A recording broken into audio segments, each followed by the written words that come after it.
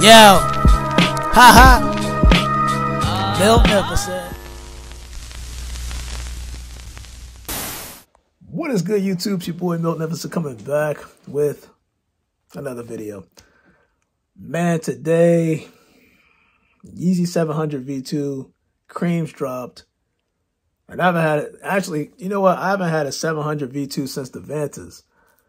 And um, yeah, you can see right here, it kind of sold out pretty quick. But your boy still managed to cop on YeezySupply.com. Shout out to you guys. Uh, personal pair, I went for because, you know, they, they are kind of comfortable. Just kind of. Now, this does look kind of like the 700 V2 static, if I'm not mistaken. And you can see right now, if you try to get one of those in terms of price and resale,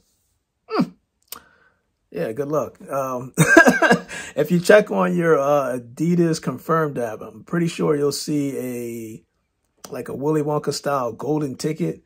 And for those that are wondering about this golden ticket, if you, from what I read, if you win in today's draw, today is Saturday, what, 9.30, so 10.30, and so people, a certain amount of people will know if they got the golden ticket or not. Now, what is the golden ticket? The golden ticket basically just gives you access to W's all month long, no matter what hype release it is. Supposedly, you're supposed to get a W.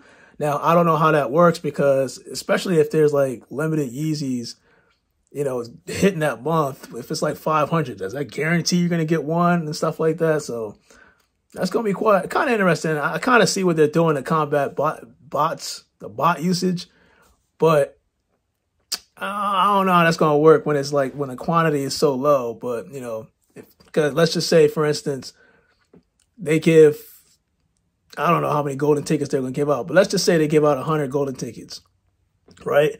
And some Yeezys comes out and they only have 50 in stock. Yeah, I'm, I'm, I'm giving an example, but I could, I don't know how that's going to work, but we'll see.